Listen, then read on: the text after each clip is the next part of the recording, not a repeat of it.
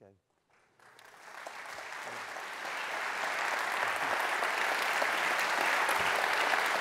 You're waving me in, they say so. Good evening, Thank you. everybody, and, and thank you so much for being here. Um, when we uh, imagined that, when we decided that the best way to commemorate Purdue's 150th would be to try to um, uh, build a, uh, a, a continuous stream of uh, brilliant and talented and knowledgeable people who would bring um, uh, fresh ideas, the newest technology, uh, newest insights uh, to us, uh, we couldn't have done better than tonight's guest. Uh, tonight's guest is a, let me count the ways, an eminent journalist, an author, obviously a, a scholar, a media executive, a CEO at the Aspen Institute, an investment banker, and when called upon, he's been a public servant too. Uh, so there, uh, there's a very long list of, of uh, topics that uh, uh, we uh, can ask him about, and I'll ask some, and then the last uh, stretch, uh, as we often do, uh, you can uh, ask uh, questions at these two microphones. But uh, let's get started. Please thank me, help me in thanking our guest And tonight, thank Walter you. Isaacson. Thank you very much, Doug. Thanks. And thanks for having me. Walter was teaching. He, he didn't need to do this. It's an incredibly gracious thing uh, that- he has shared this day with many of our students and now with you. Uh, he was teaching yesterday at Tulane University. He'll be teaching tomorrow. And so uh, you'll, uh, you'll understand uh, why I'm so very grateful to him for making this time available. Um, Walter, uh, your uh, books, I'll bet everyone in the audience has read some, if not all of them. Um, and uh, well, in our audience, uh, including faculty, and I hope many of our students uh, either have or aspire to write books themselves. Would you just take a minute or two and talk about the process, the, the uh, meticulous research that you do, and how that may have changed over the decades in which you've been writing uh, uh, bestseller after bestseller? Well, one of the things I do is I tend to write narrative biographies, which means there's a central character and it starts at the beginning and it goes to the end. It's chronological. And that makes it kind of simple because, you know, you're not having to make it a complex sort of formula, etc. So what I do, whether uh, the person's alive, as in the case of Steve Jobs, or has been gone a long time, like Leonardo, is I start with the primary research the person's notes, the person's memos, if I can, the interviews, and I just put it all chronologically. Because one of the, the two things, and we were talking about it in one of the classes here today, two things happened to the study of history when I was a student. And uh, don't take this wrong, members of the academy. But what happened was biography fell out of favor. It was sort of, oh, we're telling the story through powerful people. You know, it, it- that mm-hmm. was, instead we had to have a people's history of everything. I had a wonderful history teacher who has probably been on this stage, but back then her name was Doris Kearns. She mm-hmm. hadn't yet married Dick Goodwin, and she was not tenured. This shows how old I am. and she taught me American history. And for her dissertation and her first publication, she wrote a biography, Lyndon Johnson, The American Dream. Mm-hmm. And they didn't give her tenure because it was considered beneath the dignity of the academy to do. So for a long time, for mm-hmm. 20, 30 years, until academics went back into the field of biography, it was people like me, David McCullough, Jon Meacham, Doris Kearns Goodwin, Bob Caro, people who were not academics got to write narrative biography. And to me, it's good because the best, I mean, the Bible does it this way. We tell our lessons through people and their stories. And when I start a book, I just say, okay, let's start with where this person was born and let's move and let's figure out how they learn. Because that's what happens when you do it chronologically. Somebody who's 20 knows a little bit less than when they're 30, and you show how they accumulate the creativity that allows them to be innovative. Have all the new tools, uh, uh, digitization and all the rest, made the job easier, uh, more complicated? No difference. Well, it's uh, made sometimes the historical research different. There's a uh, my first book, which nobody remembers, I did with a friend from college. It's called The Wise Men. It's about six friends in the 1940s. Yeah, no, you were not one, but you should have been. No, I, Uh, no, no, I, I remember. Yeah, uh, six friends in the 1940s, three Democrats, three Republicans, who helped figure out our Cold War policy, the Marshall Plan, et cetera. Sort of Harriman, Acheson, Bohlen, that crowd. So Harriman and Acheson are actually, and uh, Lovett, are all three banking partners. Mail was delivered twice a day back then. So when Lovett and Harriman are in New York, but Acheson's down in Washington, they'd write twice a day, and you'd see, okay, tell me about this, tell me about that. Technologically, there's a moment in 1959, you can almost mark it, where direct long distance dialing comes ah. in. And suddenly, in the Brown Brothers Harriman archives, where I went and was doing all these things, the daily letters or twice a day letters stop, and you just get call me about Vietnam. You go, darn, we're losing the thread here. we're, and likewise, we were talking backstage, you know, Nixon and Lyndon Johnson and Kennedy taped themselves, but Nixon messed that up for the uh-huh. rest of us. So you know, so you lose those technological things, but we gain things such as emails. Now that's going to be a trove someday.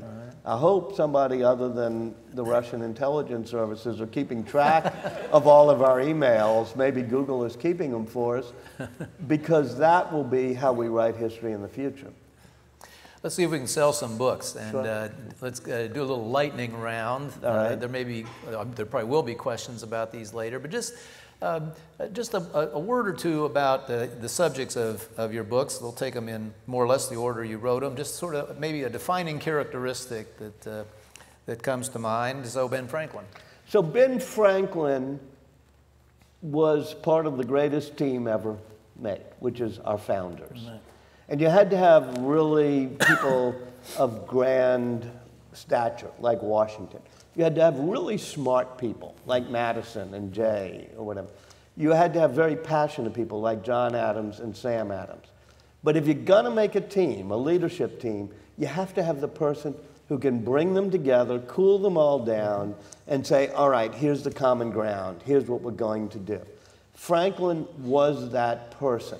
He's a person that you and my mentor when I went to graduate school, Dick Lugar, your hmm. mentor as well from here, Dick Lugar used to always teach this, which was that compromisers may not make great heroes, but they do make great democracies. That was a line of Ben Franklin's, and we've lost that today. And Ben Franklin was sort of a glue that tried to hold us together. Was that at Pembroke College, or where was We were at Pembroke. Yeah. I was the co-chair with uh, Dick Lugar of the Pembroke Society, which was, as you would know as a college uh, university president, basically a fundraising group. My job was to introduce Senator Lugar We and don't say, have those here. and then afterwards say, Yeah. if you want Yeah. to contribute to a poor college, yeah, well, I omitted it from my, my uh, uh, too short uh, introduction of Walter, but he is the living proof that Rhodes Scholars actually can amount to something. So, thank you. yeah, They're a dime a dozen. Who else went to Pembroke College? stumped. Pete Buttigieg. Oh, well, okay. So he was on the Pembroke. This is a very small college. You go to Oxford on tour, they show you Christ Church, they show you Magdalen. Then they kind of walk by and say, You've seen the rich and grand colleges, now we'll show you a poor little college. Well, not poor in tradition, as you just proved. Dr. Johnson went there. Uh, one so then uh, uh, Einstein. Einstein, yeah, when I did Ben Franklin, you know, we think of him as a doddering old dude flying a kite in the rain, going, you know. Those electricity experiments were phenomenally important, and they're, the reason I loved writing about Franklin is they inform all that he does plus, minus, checks, balances, you know, Newtonian mechanics, but also the flow of electricity, batteries. All this you almost see in the Constitution, these checks and balances. And um, balances of power when he does his diplomacy. He and his friend Thomas Jefferson would have thought you were a Philistine if you didn't know science and biology mm-hmm. and Newton and stuff like that. We lose that in about 1920 in history, and it's partly because of Einstein. Suddenly, Einstein comes along, and you don't believe you can really grasp science. I mean, mm. uncertainty principles and relativity. And C.P. Snow writes about the two cultures, meaning those who love the humanities don't understand the sciences. And I found that that was problematic because my father, my grandfather were all engineers and scientists. And so I wanted to try to demystify science. And plus, I just loved Einstein and the beauty, the beauty of relativity as the coolest theory ever done. And uh, we, one, of our, one of your predecessors uh, at, uh, during this year of, of accelerated programming here, uh, it was the scientist who most recently proved um, the um, validity of the relativity theory. Oh, was the what they did with the the, the Higgs boson Yes, or the uh, gravity waves? The gravity waves, yes. So yeah, I mean, the thing I love about Einstein is once every two years there's going to be a headline saying Einstein proved wrong. Something goes faster than the speed of light, or Einstein proved wrong this. And I look at my watch and I say, let's wait 48 hours. And then the next story comes out saying, oh no, they've discovered it was gravity waves and it is actually a force field and it doesn't travel faster than the speed of light. And that's what that was. It's not apocryphal, is it, that, that he uh, was uh, uh eager for people to try to disprove Oh, his yeah. theory that he wrote to some of it, to Bohr and some of, the, of his other colleagues, please do an experiment if you that ever will prove me wrong. really want an intellectual in exercise, yeah. and I tried to do it, the Niels Bohr, um, Albert Einstein uh-huh. dialogues, both in person, because right. they met three or four times a year at Solvay conferences, and their letters. Because what happens is Einstein, in 1905, I mean, they call it the miracle year, and that's mm-hmm. understating it. He goes, relativity, he does quantum theory. Right. He wins a Nobel for the electro um, uh, mag mag magnetic wave that right. falls into quantum theory. And then at the very end, he does an addendum after a summer E equals mc squared, basically, comes out of it. So he's got it all. But the problem is relativity theory and quantum don't reconcile very mm-hmm. well. It's hard to have a unified theory that puts them together. And the worst part about it to Einstein was that quantum theory left things at the subatomic level to chance, that there was not a pure certainty or predictability or certainty in nature. That's what mm-hmm. Heisenberg's uncertainty principle is. Einstein just could not abide that. God does not play dice or something like that? Yeah, yeah give the line. Yeah. I cannot but, believe that God plays dice with the universe, he says to Niels Bohr. The greatest comeback to that line, finally, after Einstein being Einstein said it like 20 times, it's driving Bohr nuts, and they're at a conference. He fought, uh, Niels Bohr, because it means, you know, I can't believe that things would happen by chance. Finally, Bohr turns to Einstein and says, Einstein, please quit telling God what to do. well, in this uh, confirmation bias era we're living in, I frequently cite him yeah. to our students. Here's someone who wanted someone to contradict him or to disprove him if they could, mm-hmm. and, and one was eager to have his that own ideas challenged and tested. I wrote about Leonardo, and I assume we'll get to him. But the thing that Leonardo, Ben Franklin, and Einstein share is Leonardo's probably the first grand figure to understand the scientific method, uh-huh. which is all right. We've learned about the flood. We've learned about the biblical flood. The Renaissance is not they don't know they're in the middle of the beginning of the Renaissance, so they don't know that they can be sacrilegious. And he's looking at fossil levels and he's saying, well, wait, let me test this out. Let me see how many layers there are. Let me see when things were deposited. And he uses the scientific method and keeps challenging people to disprove him, and they often do. And he changes his theory when things turn out to be wrong. Mm-hmm. So does Ben Franklin and so does uh, Einstein. Yeah. Although Einstein, he thought he was proven wrong truly only once, which is he has the general theory of relativity. And if you look at the general theory, or if you're Einstein and you look at it, maybe not me, but it basically says this theory of general relativity can't have a stable universe. If these equations are right, the universe has to be expanding. And we all knew the universe wasn't expanding. He looked up, it wasn't expanding. So he finally puts in what he calls the cosmological constant, which keeps the equations right and the universe from expanding. And then 10 years later, he's brought to the Hubble telescope, and they have discovered that the universe is expanding.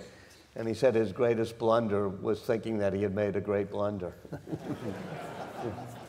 Would that we could all feel like that. yeah. Uh, well, any more about uh, Leonardo? Uh, that we'll take him next. Is anything? Well, you know, when we look at, uh, and I don't mean this to sound preachy, but it's something I discovered as I was writing about, and writing around here, I was thinking about it too. I walk campus. Why do certain places become cradles of creativity? And obviously, the greatest is Florence in 1470 when Leonardo arrives as a teenager. Uh, 1770 when Philadelphia and Ben Franklin, you know, has been there as a runaway. Uh, the Bay Area of California in 1970 when Bill Gates and Steve Jobs all arrived. And part of it is a, you know, we, we talk about diversity as if it's, you know, we just ru- run up the flagpole and salute it, but we don't think about what it really means. Leonardo da Vinci was illegitimate, much to his um, delight, because that meant he didn't have to be a notary like his father and grandfather. um, but he was also a total misfit. He was illegitimate, he was left handed, he was gay, he was out and gay, which in 1470 is pretty early. Um, he wore purple tunics, he was distracted, he, you know, he had all these quirks. And so he comes from the small village, like a lot of people might, you know, even today, to go to the sophisticated city of Florence. And they love him. The Medici family loves him, they embrace him. He becomes, you know, the boy wonder of the town. And that moment, all sorts of people are coming into Florence. Constantinople has just fallen, so people coming from the Arab world bringing algebra, which helps them be able to figure out, oh, perspective. And Brunelleschi's building the dome using algebra. And you have Gutenberg, who couldn't get his printing shop working in, um, in Germany well. And so the print indus- printing industry, I mean, Gutenberg's first shop is the year Leonardo's born. So people coming in doing the printing industry in Florence. So that intellectual ferment of different types of people in a cradle of some not only tolerance, but amusement, love, respect, causes Florence to be the place the Renaissance is born. I think you may have just an- anticipated, maybe answered one of my other questions, but before I ask it, Yeah. uh, Steve Jobs. Yeah. Well, Steve was also a bit of a misfit, adopted, and learns that he was rejected by his first adopted family. But he's somebody who stands at the intersection of the arts and the sciences. After I did Franklin, then Einstein, I got a call from Steve Jobs. I didn't know him real well, but I'd met him before, especially in 1983 when they bring the first Macintosh to Time Magazine. I'm like the newest reporter there. I'm the only guy at Time Magazine who has a computer, who uses one. So the old editors had to bring me upstairs to meet this guy because they needed one. So after that, Steve Jobs was my best friend twice a year whenever he had a new product out uh-huh. that he wanted good coverage in Time Magazine. so at some point after I'd written these books, I got a call from Steve, and he says, Okay, you did Franklin and Einstein, do me next. My reaction is the same as yours. You arrogant little, you know. and I say, Well, do you in 20, 30 years when you retire? Then I find out from somebody a few days later, Hey, I said, Well, I didn't know he had cancer. He said, Well, he's keeping it secret, but he called you the day after his diagnosis. I said, Okay, I'm going to have to, I want to do this. But when he talked to me, I said, Why did you want me to do it? He said, Because every book you've written has been about somebody who stands at the intersection of the humanities and the sciences. And he says, And that's where creativity occurs. Mm-hmm. That's what Franklin was, that's what Einstein was. And he said, You're, about, you're going to end up doing Leonardo at some point. And that's why I thought of it, because Vitruvian Man is almost that symbol of the intersection of the humanities and sciences. And if you ever saw one of uh, Jobs' product launches, the slide at the end would always be the street sign of the humanities and technology, or the humanities and the sciences. Because he said that separates us from Microsoft and everything else. We, we have that in our DNA. And so to me, that was the essence of Steve Jobs, a misfit. And if you remember his famous ad when he comes back to Apple it's almost Leonardo like. It's here's to the misfits, the rebels, the Mm-hmm. round pegs in the square holes, the ones who think different. And he goes on, and uh, the people who are crazy enough to think they can change the world are the ones who do. And so it's all part of that theme.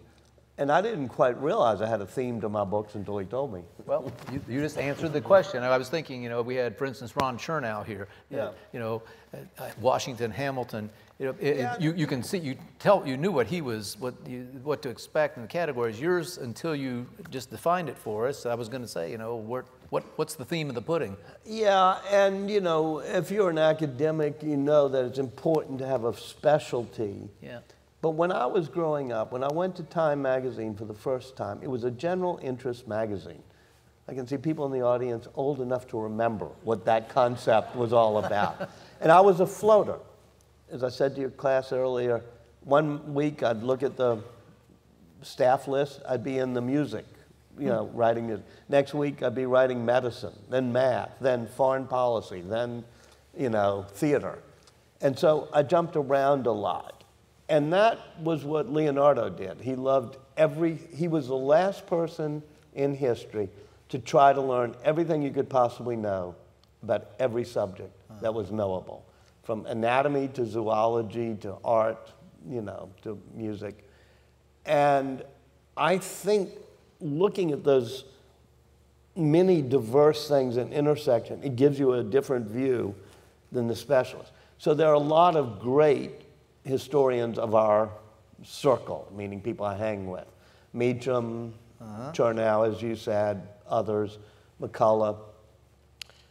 Most of them have a specialty, you know, presidential historian, or in Chernow's case, you know, both in terms of American leaders like that.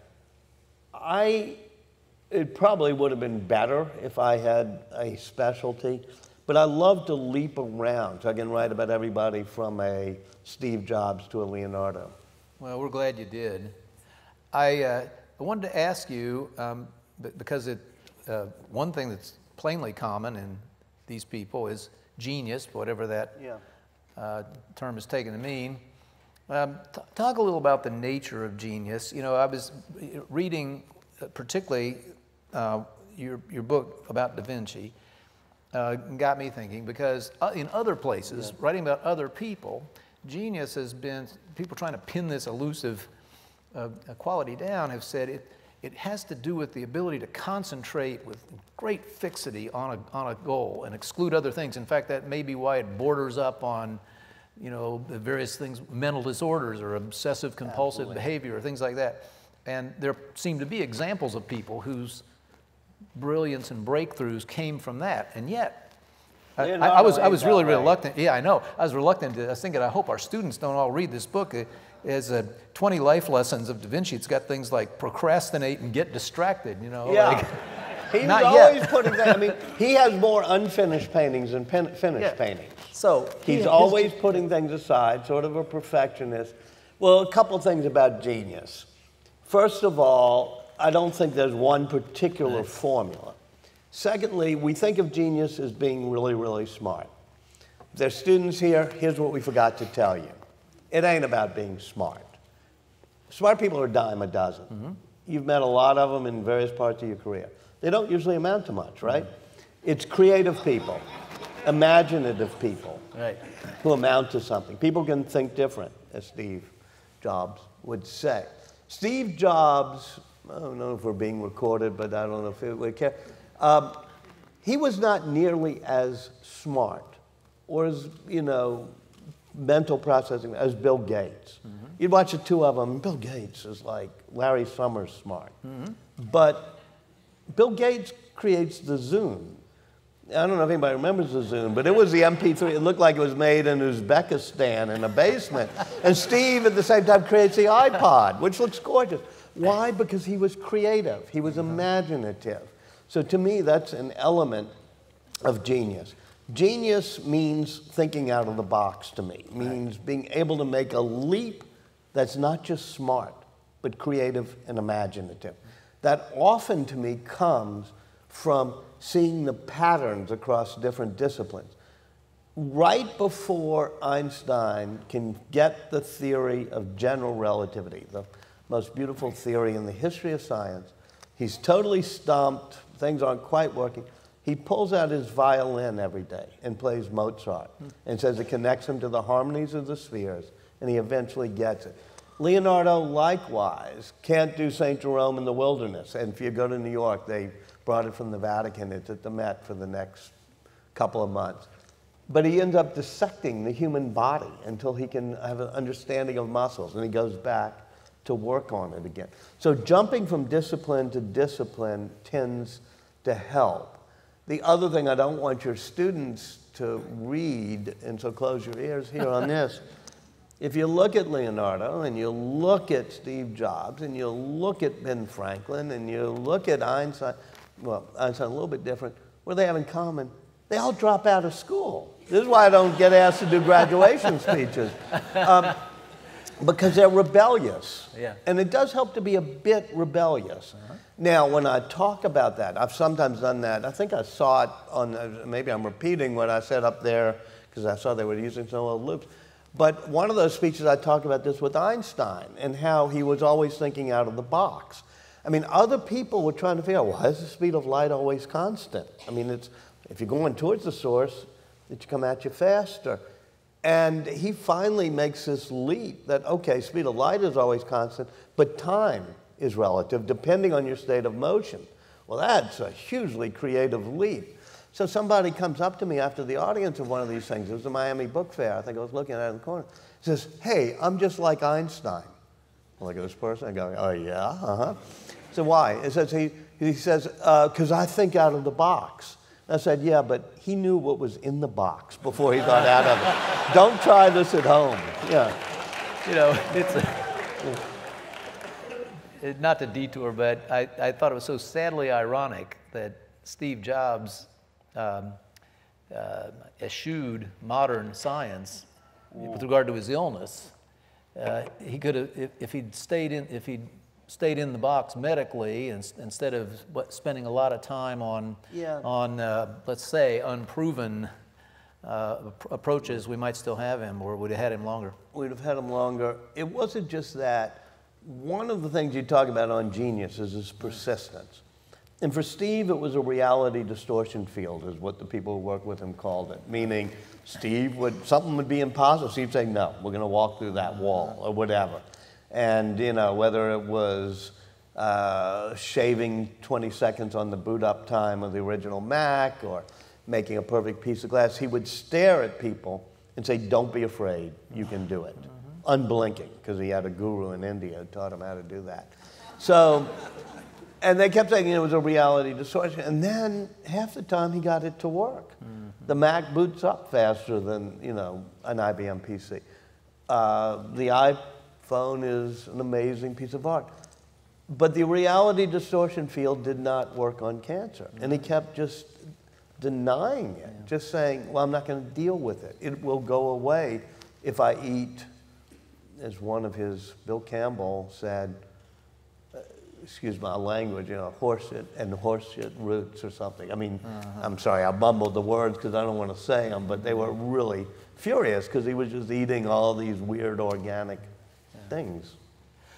Um, you have, uh, from play, uh, time to time, uh, cautioned, and as, I, as more people should, uh, people looking at history today, again, su- superimposing today's morality right. and today's codes on uh, times long gone. Um, it's a wonderful thing to think about as a history professor. And my views on it evolve some. I call it the Jefferson conundrum, and Meacham and I talk about it a lot because our views on Thomas Jefferson have evolved somewhat. However, you don't throw out, you know, you got two buckets. One is we hold these truths, and the other is all men are created equal. He kind of messes up the second, but he's got the first down pat. And you got to be able to take a person as a whole. And that was an interesting thing about the Jobs book, even, because he was a real jerk. And they have a technical term in Silicon Valley for that begins with an A. but uh, you know, but you have to say, okay, you take the good with the bad. And you know, I'll let you do the thought experiment. But I, um, first wrestled with it in real seriousness uh, with Kissinger, obviously, because I think he was a true genius and thinking out of the box and doing the triangular balance that helps us get out of Vietnam. But obviously, he had a lack of moral sentiment, as he would say, in the conduct of foreign policy. Uh, but I particularly wrestled with it publicly in New Orleans when I came back a few years ago. And I was asked by Mitch Landrieu, your namesake is uh, Mitch, uh, who was the mayor, to be co chair of our tricentennial. And the other co chair was Wynton Marsalis, the cornetist and trumpeter at Jazz at Lincoln Center. So Wynton calls me up says, I'll do it if you do it. And I said, sure. He said, but one condition. I said, what? And he said, You help me convince Mitch to take down Robert E. Lee. Now, Lee was in Lee's Circle right at the end of St. Charles Avenue. And I said, uh, Wynton, I said, You out of your mind. You know, it's, you know, everybody knows that statue. I said, I've driven around that statue thousands of times. I never paused to think about who's on top of that plinth. Long pause. He says, I do. Mm-hmm. I said, okay, let me think about this differently a little bit. So Robert E. Lee is somebody who had many, as President Trump has said, you know, many strong, great qualities, but also was on the wrong side of history. I can see why the monument was put up. It was actually, I mean, Lee never had anything to do with New Orleans. The Army of Northern Virginia wasn't down there, you know, and New Orleans, smartly or dumbly, had surrendered on day two of the war, and so General Butler occupied us the whole time. And uh, but so he was just put up in the 1890s after Plessy v. Ferguson, after Reconstruction, to sort of be a symbol of whatever. And so I said, all right, it's time now. It's been a century. It was okay to have him up for a century. He doesn't have to be up for another two or three centuries. We have to reevaluate in the light of the current day, without being too much guilty of presentism, who do we want to have on our yeah. pedestals? Yeah.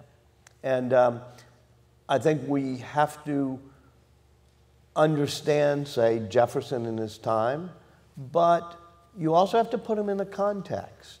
A context in which a lot of people there kept slaves, especially the Virginia presidents, but others freed the slaves when he didn't. Right. He didn't. And secondly, Ben Franklin had two slaves and was so close to Jefferson. And then realized, Franklin did, he kept a chart, Franklin, of all the errors he had made, errata, right. during his life, and then how he had rectified it. And the great errata he had made was once when he was young having two household slaves. Mm-hmm. So he becomes the founder of the Society for the Abolition of Slavery as his way of rectifying it.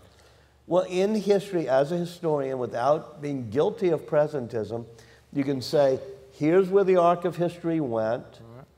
These people are on the right side, and these people got it wrong. And so I think we have to apply some moral judgment, but like everything, like Ben Franklin teaches us, it's a balance. Yeah. You don't go off the deep end on either way. Well, I, just, I think that uh, you, you uh, have just reflected what I think have to be the two preconditions to reaching such a judgment today. One is actual historical knowledge. Mm-hmm.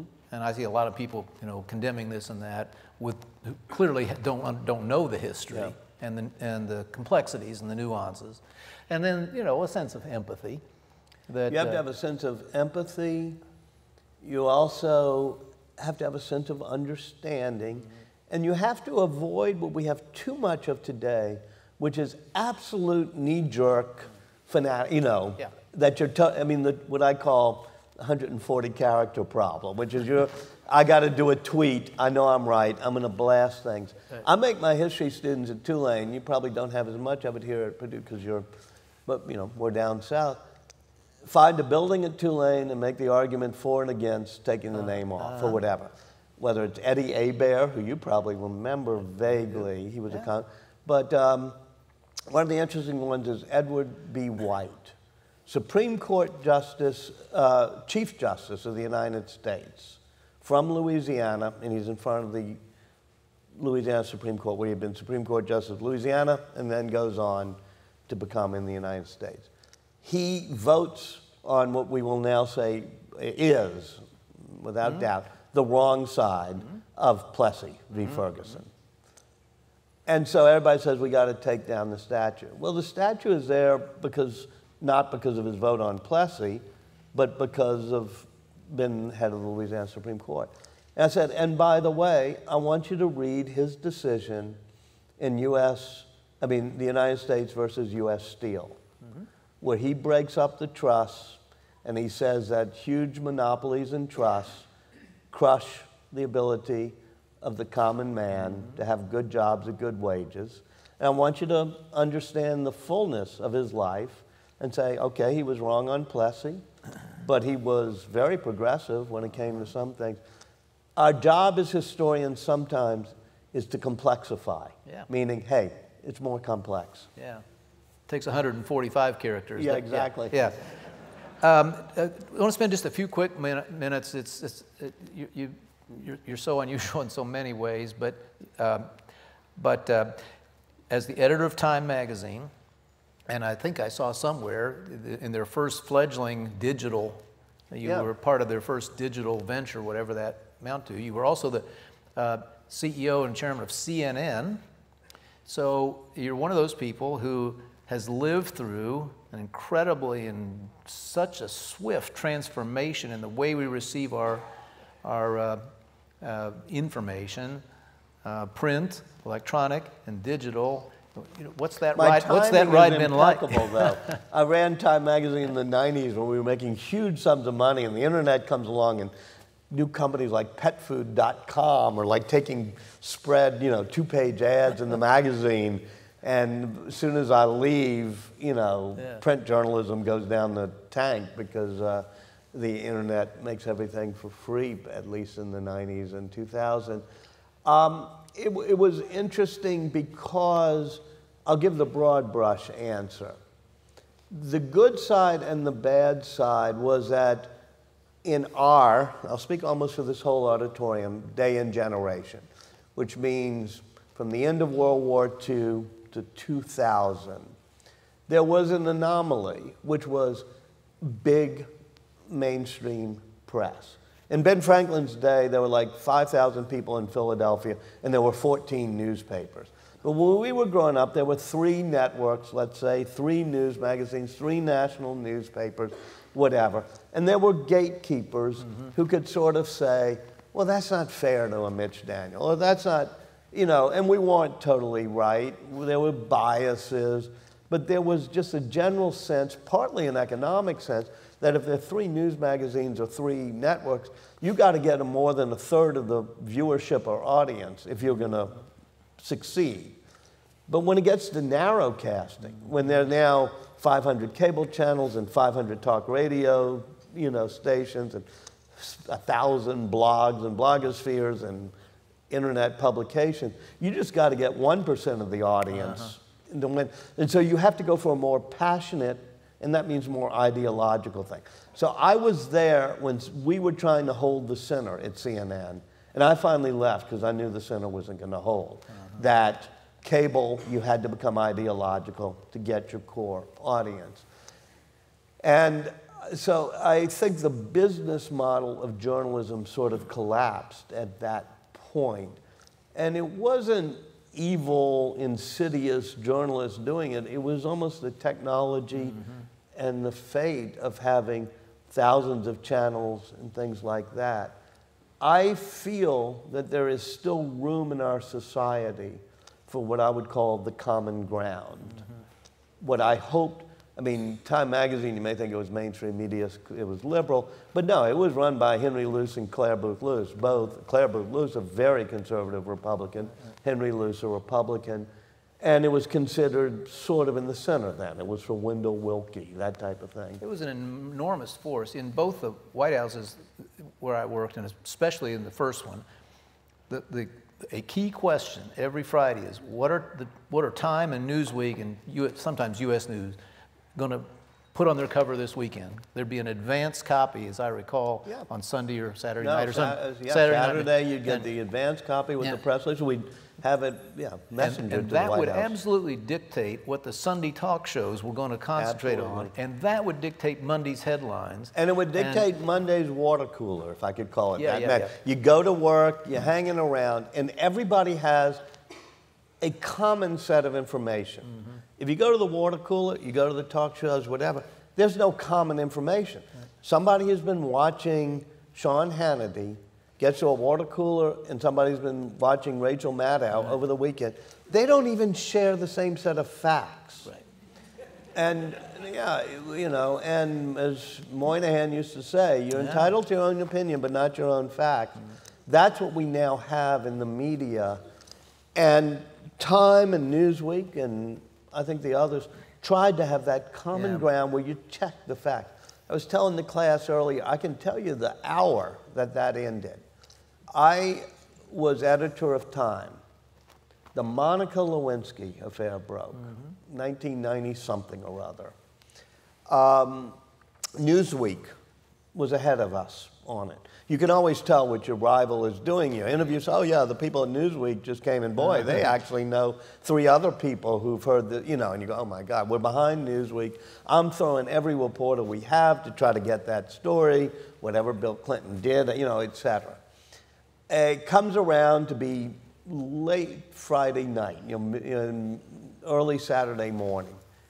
And I got all my editors there and I say, we can't run the story. We don't have it. Mm-hmm. We have nobody on the record. People say, oh, but Newsweek's got it. We're going to look silly. Newsweek's going to beat us. I said, yeah, but I can't run this story. We don't have Yeah. it nailed. I wait for that moment when the magazines come, as I said, and Newsweek doesn't run it. And the editor in charge then was Evan Thomas, who had been with me at Time and was my co-author on The Wise Men. So it was like personal rivalry. So I pick up the phone and call Evan and say, "What happened?" He said, "We held it. We just couldn't pin it down. Go to sleep. Five the next morning, the phone rings. It's the news desk. Have you seen the Drudge report?" And the Drudge had put the entire Newsweek killed story uh-huh. on. And that's when we no longer had the power Right. to say, this story is not nailed down yet because you knew it would run somewhere.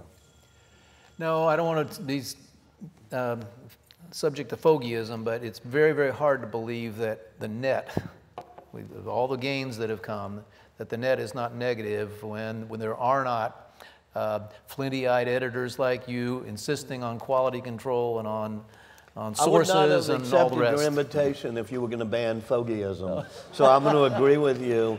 And as I said to your class, it's not just that. I mean, it used to be. I still remember 9/11 being in the newsroom with Ted Turner at CNN. You know when I was running, and said, "Okay, we can't put out what this is until we totally nail it down. Get this is bigger than anything else. Meaning we can't get this one wrong." So nowadays, the fact that you don't try to Right. get it right, you just try to get it out there and then you correct it, is bad. But the other thing that's bad is social media, meaning Facebook, Twitter, that sort of thing, is both anonymous. You can't trace back who really sent you something or who made something up. And it incents, by its algorithm, Right. it incents engagement and enragement. If something gets shared a lot, it goes to the top of the feed in Twitter or Facebook, and what gets shared is not, well, there's a complex call on what you should do with gun control. It's, can you believe what Hillary Clinton did to this cat or something? so I think social media and the, and the lack of controls on the internet the line of the goodness that came from that. Because frankly, it was kind of bad with flinty old, you know, you know, say it, old editors controlling what you got to hear. It was kind of good that the monopoly of the that's the way it is Cronkites got broken, but then it just got too broken, and the lines have now crossed. I'm going to ask uh, Walter one more question, which is uh, your notice to come to the mics if, uh, if you have uh, questions of your own. This will give you just a, a couple minutes to do that, so please take advantage. Um, something completely different. One of the public services to which he's been called, and this, these have included, uh, you know, the Board of Broadcasting Governors and uh, national appointments. President Obama appointed you, I think, to that. But um, in your hometown of New Orleans, after the unforgettable tragedy of Katrina uh, many years ago now, um, you were helped lead the Reconstruction Louisiana Recovery uh, Authority, yeah. Authority. And I'm just curious about that. Tell us about your hometown now. And I, I want to ask it in the context of a, of a, a book that uh, always uh, stuck with me. Mancur Olson wrote a book in which he attempted to demonstrate uh, that uh, the fastest growing and sometimes most creative and successful societies followed a cataclysm of some kind. San Francisco fire, massive defeat in war, Germany, Japan, post World War II, things like that.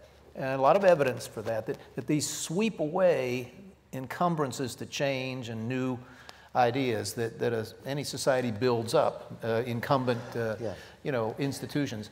Um, have you seen any of that in New Orleans? And how Oh, is, how's it going? Totally, and it, I don't want to say it in a way that sounds callous because storm was horrible. Right. But you had to make sure that we didn't screw it up. And our first decision was we're not going to try to rebuild the city the way it was, we're going to rebuild it the way it should have been. Uh, that doesn't mean sweeping away all the old, because part of what New Orleans is is 300 years of history in the French. So it's preserving what's good. But the school system, let's just take one example. Yeah. You can pick anything you want, but schools was one of the ones I did. Was all right. It was a really bad school system. We have this one chance. What we did, and this was before everything became politicized, we decided that one reason school systems are bad is they're monopolies. No, you know, if a, if a Whole Food moves in next to a Safeway and it's got a salad bar, the Safeway's got to up its game and you got competition. Schools don't have competition. So we, out of the 102 schools in New Orleans, decided, and it is still this way, that it's all charter. Mm-hmm. Now, if you sort of have half charters and one third charters, but they can't skim the cream. There's a common app. Charter schools have to take, parents get one of their top three choices. If parents aren't choosing your school, you don't have students. If your students dwindle, it's like Purdue. People choose Indiana, no, that they wouldn't, or Vanderbilt, never. Uh, but Well, good point, but bad choice. That doesn't happen. Y'all are playing Vanderbilt soon, I think. But, but you know, if you screw up here, parents and kids don't choose you. So we have a system of choice in which people apply, they get their top three choices. Generally, I mean, there's a few exceptions. Uh, you have to take special ed, you can't skim the cream. But you had competition. So the first thing that happens is in my neighborhood of Broadmoor, right in the heart of the city, part of the central city, neighborhood I grew up and moved back to, um, there were three schools. And one of them, uh, Forte, said, okay, we're going to stay up until 6 p.m. Why? Because it's idiotic to throw a kid out in the street, especially in New Orleans, at 3 in the afternoon. So when it stayed open till 6, the other two schools is like the Safeway saying, hey, we're going to stay open till midnight. So they both did. Many, even little things. Alice Waters came from San Francisco in one of the schools and planted a garden. And, the, and so the school had a garden where they grew their own vegetables and cooked them. The other two schools in the neighborhoods have to follow suit. They've got to compete. So now we have a school system. The charter bit is not that important. That's become a loaded word. But it's all parental choice, where, and you have autonomy at each school to decide the length of the day. It's complicated. You have to have, make sure we have standardized tests so we, parents can compare the schools. But so we tried to reinvent something new. And now the New Orleans school system was the worst in Louisiana. Now it's graduating more than any other parish in Louisiana. It, the test scores have gone from, you know, like in the 30 percentile up to the 70 percentile. Now, I mean, that's just one thing. But another thing that's happening across America is not just New Orleans, but you're happening here. Good creative towns have become magnets for talent. And you see that in Chattanooga, you see it in Nashville, you know, you see it here. Um, and so we have to figure out how do we stay a magnet for talent. Thank you. Uh, I think we've got a, a question. I'll, Yes, I'll, sir. I'll give the usual admonition: questions, not speeches. And, I get to do and, the and please identify yourself. notes, but it's not a speech. Um, What? my name is Mason Wiss, and um, Hi, Mason. I had some questions um, about uh, your writing about Henry Kissinger, and You have to remember, I was about your age when I wrote that book, so you have to remind me. I, I'll, Some- I'll, some I'll of spare it. you um, any harsh criticisms, but I, I do have some questions. You, uh, I read what I could of it um, Yeah. after I heard that you were coming. Uh, Yeah. I wasn't able to finish it. I was able to read excerpts though, and uh, through what I read and uh, interviews I was able to watch of you around when the book came out. Um, I never saw you call Henry Kissinger a war criminal, and I never saw you accuse him of genocide. And I was wondering if. You're that right. That's um, right. was an attempt to avoid presentism, as you were talking about today, and bias. And if you think that in avoiding those uh, Yeah. adjectives, you achieve Well, that, no, I would have used the adjective if I felt he was a war criminal. And I looked at Chile, part of the book nobody reads, and I looked at the secret bombing of Cambodia, and looked at what, you know, what happened.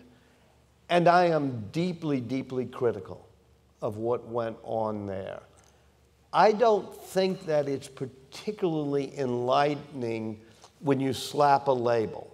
Now, I've slapped labels. Occasionally now I even slap the label racist, which is up there with war criminal. Not on Henry Kissinger, but, but I'm pretty careful when I write not to let labels distract you rather than have you learn exactly what happened with the bombing of Cambodia. Now, the genocide that you might talk about was, as you know, Pol Pot and the Khmer Rouge doing it in Cambodia to Cambodians. There was also the and genocide it was Timor. sorry? There's also the genocide in East Timor committed by the Indonesians, which Right, and Kissinger played a both of them were not done by America, but you could argue, correctly perhaps, that the consequences, say, of the uh, secret invasion of Cambodia led to the rise of Pol Pot, which led to the genocide. Likewise, in East Timor, you could argue that even though the Americans didn't do it, American actions were deeply mistaken and led to horrible consequences. And if you want to make that argument, my book's the best place to do it, because that's the argument I make. But that doesn't mean I slap the label war criminal for having done the invasion of Cambodia, even though it led to really bad consequences. And so did East Timor, you're right. Generally in- requires intent, and bad judgment is something short of intent. Right, and um, war criminal is a very specific term of art. I mean, there's a whole literature on what constitutes a war crime. And uh, you could make an argument that in an unintended consequences of what he did, that would still rise to the level of war crime. But that's where you don't find that in my book, because I don't actually believe that. Thank you, Mason. Thanks, Good- Mason. good That was a good Let's- question. Let's go over here. Hi. Um, a few years ago, Jeff Bezos purchased the Washington Post. Yeah. Last year, Mark Benioff purchased your former employer. I'm Yeah. just interested what your thoughts are on these technology oligarchs. Well, I, um, this is nothing new. I mean, all sorts of wealthy people in the past have bought, you know, I mean, newspapers and outlets because they, you know, but it's something that's, we've had a resurgence of it. I couldn't figure out 10 years ago, what's the business model going to be for journalism?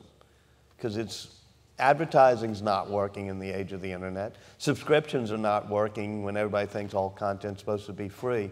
I never came up with the notion of egotistical billionaires buying it for their own reason. But that's a brilliant solution, especially if it's a Benioff, who I actually like a whole lot, and a Bezos, who seems, leave aside his personal life at the moment, seems like he's not doing it for insidious reasons.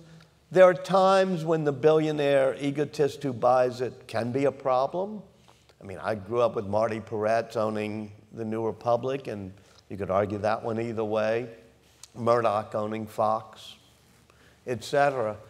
But benign billionaires is a good business model. And uh, I remember when Time was going on, and people say, oh, what's going to happen with Time, you know, and Time Inc. has collapsed, whatever. They called me. They said, find me a billionaire. And I went around. I talked to David Rubenstein. You probably know half the people I talked to. said, hey, don't you want to own a news magazine? You can get it pretty cheap. And uh, it finally got to Benioff, and like, bingo, yay. Thank you. Great Yeah. question. Let's, let's move quickly. We only got a little bit of time. So I'm this sorry, is I'm a follow-up question uh, that you mentioned about the New Orleans public school system. Do you worry that a school system will have the same pressures to narrowcast, just like cable news channels? Yeah, every year we have to refine how it works in a school system. And one of the things you have to do is say you can't skim the cream, you can't just pick and choose who gets to come to school. It's done by lottery, but if people aren't wanting to come to your school, you're going to end up shutting down because you don't have enough people coming. But things happen, like there's school, the uh, bricolage school, which teaches in French. All right, is that, how good is that? How bad is that? We try to make sure they're racially balanced in some ways. If you're totally racially imbalanced either way, we say, you know, we're not trying to have quotas or anything, but maybe you're not doing something right here. Also, I'll give you one example. It's not quite up what you said, which is um, a friend of mine, Ben Marcovitz, did Collegiate Academy. It was wonderful. It was in the FEMA trail for a while, but it's still the best school. Some of the kids I mentored, I made them go to collegiate. One of them's at Yale now. But he suspended kids. They had to walk along the line. They had to wear a uniform. They had to, and if you did something wrong twice or whatever, you were suspended. And it got to be pretty bad. And somebody was writing an article saying, hey, they're just suspending more people than any other school. And Ben called me up and said, Can you get them to stop that article? And I said, Well, let's look at it. And I said, Well, wait, that article's true. I'm not going to get them to stop it. And I said, He said, Well, we have to suspend people because if they're troublemakers, it ruins the whole school. I said, What good are you doing putting a kid on the street at 11 a.m. because they didn't walk the. I said, Why don't you make a pledge? Next year, no suspensions. He said, Well, how will we do that? I said, We'll raise money. We got Mike Bloomberg to his foundation to pay for it, to have an in house place, a suspension room with counselors and all there. So there's a lot of things that go wrong when you allow school autonomy and choice. And each year, I mean, I just came from a meeting on Monday of New Schools New Orleans, and we have 12 other problems like that. But, but it's still worth the effort because we didn't need to go back to the school system we had before the storm. Let's go over here. Um, hello. Um, so this is just a quick question because you brought up an excellent point when you, excuse me, you brought up an excellent point when you brought up the Hannity versus Maddow example because sometimes, um, yeah, it is difficult to go through the news without getting agenda after agenda. So my question would be, when you're going through a, a particular piece, looking for facts, especially for, I speak for everyone who academic curriculum requires this, what kind of facts are you trying to keep your eyes out for, and um, how do you know if something is fact versus agenda? You know, I think we're all smart enough with a good smell test that, you know, uh, it's sometimes hard on the internet. I was watching some video that had gone viral where somebody had thrown something in the car. And I said, you know what? And it was another one I saw where a basketball player got beaten by a girl. I said, those are two fake stage videos. I know they're there just to rile people up on the internet. But it's, you know, I can pull out my phone and show you, you know, here's my news diet in any given late night. I tend to do it at midnight before I go to sleep. It's a Wall Street Journal, New York Times, Washington Post, you know, sort of the mainstream. But it's Vox. I do the Daily Caller as well as the Huffington Post, you know, try to get both sides. But as I look at a fact, I've triangulated it enough. I've read four or five different sources, even on complex things like Boris Johnson deciding to expel Winston Churchill's grandchild from the Conservative Party, which I find rather amusing. You know, I'm like, all right, let me drill down on this. Let me see what the Telegraph, which is a more Tory oriented paper in England. I've already read the Daily Mail and I've read New York Times on it. So I think you do what you do in life. You're sitting there at dinner at the dining room table here, and somebody tells you something. Every now and then you're going to check hey, that really happened. And even people who try to tell the truth. Brian Williams, I don't think meant to lie, but you, or Joe Biden for that matter, I don't think meant to mix up the stories he did in New Hampshire intentionally, but people get things wrong. You have to be non judgmental. You have to say, you know, people just get things wrong, but let me, let me check it. Thank you. We're over time, I'm sorry, we'll take one more question, and, I'm uh, um, happy to stay if you want for well, you gotta be in class tomorrow, I don't All wanna I you too will, late. uh, I'll do it real quick. In fact, if you want to let three questions hit me, and then I'll uh, pick the Those one that three I most want to then. answer. Oh, okay. That way, I'll only answer one. I'm the one eating up the time. Hi. So uh, you mentioned the idea of kind of um, thinking outside the box and uh, the scientific method, which um, one of the biggest premises is to not take assumptions and not take things as is. What do you think is the best way um, that you've seen uh, among the research that you've done that people build that type of mindset? Because I think it's one that doesn't, at least I've seen uh, in many people, doesn't come naturally. So how do you really get the mindset of not taking things as is and really thinking deep into them? Next question, two. I'm gonna, I'm gonna actually take all three. Hi, my name is Rajiv. So I really uh, liked your book on called Innovators. So like you studied a group of hackers and talk about the digital revolution. So like you've seen, you've, you've studied a lot of history and seen the revolution of this, like the digital revolution. So where do you think with the AI and space travel, where do you think the future is headed? And then what's your thoughts on uh, Elon Musk or the AI and the really big debate on AI with Uh, good evening. So, among these men who stand at the intersection of sciences and humanities, would you say, with your reference to social media, that that uh, Mark Zuckerberg is among them? Is he a, does he qualify to be one of these geniuses, in, to use your words? Okay, I'm gonna do it real quick in reverse order. No on Mark Zuckerberg. He should be better. He should have stayed and studied more of the humanities courses. He shouldn't have dropped out. Had he had a good sense of the humanities, he would not be making Facebook the insidious force it now is in our society. Well said. Thank you. Yeah. And I don't think he's a bad person. I just think that he doesn't get it the way Steve Jobs did and others. Uh, on AI and other things, here's the key stand at this intersection. Machines are not going to replace us.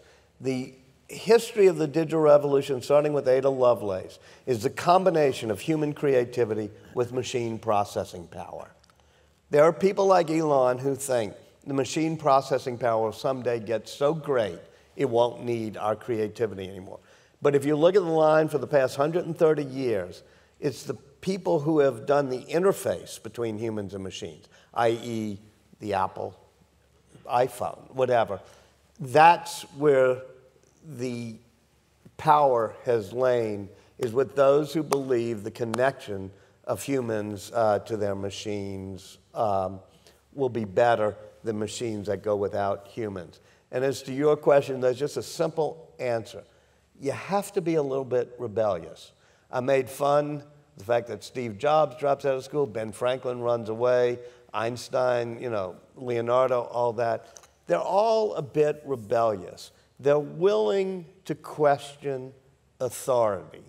This is not something you should do every day at Purdue, but every now and then, when somebody says, you know, the speed of light is always constant, it moves through an ether, and or says, like Newton does, the first sentence of the Principia time marches along second by second, irrespective of how we observe it. And you got a patent clerk, Einstein, who can't get a job, so he's a third class clerk in a patent office.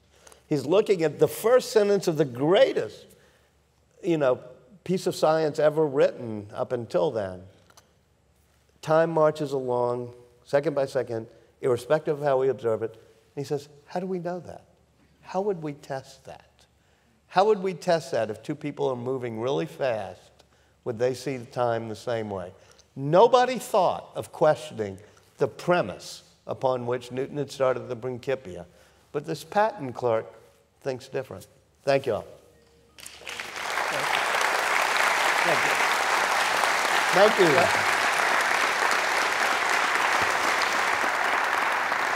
Well, I was, I was, I was gonna take responsibility, but if you're late to class tomorrow, it's on you now, so, you know, uh. I don't know about the- you. Tulane the- doesn't begin my classes till noon. Uh, it's like uh, Senator Magnuson used to say that meeting doesn't start till I get there. Right. Uh, thank you all for coming. You know, uh, the, the term that's uh, drifted out of use generally, uh, Renaissance man, uh, but the species is clearly not extinct because there's at least one uh, extant in, in our time, and you just heard from him. So thank you very much.